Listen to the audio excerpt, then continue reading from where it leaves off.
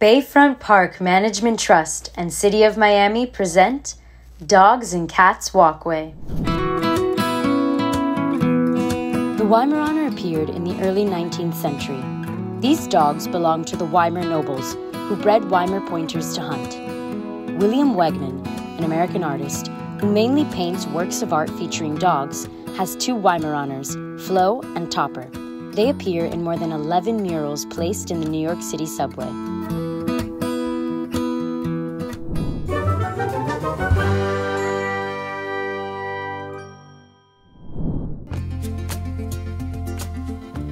My name is Sabrina Blanco. I am Venezuelan.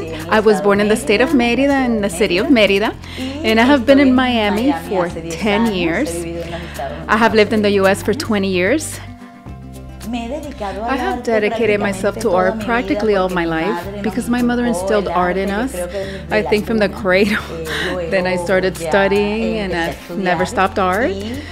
I have never stopped painting. And now I've been with pop art for a long time. Strong, bright, solid colors. I like that line of my art. It makes me flow a lot. This dog was actually a great experience for me because Miami is the cradle of happiness for me.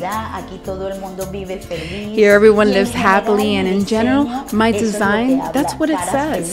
Happy faces, smiling faces, all the people from colorful, bright Miami, radiating light, warmth, and lots of happiness for everyone.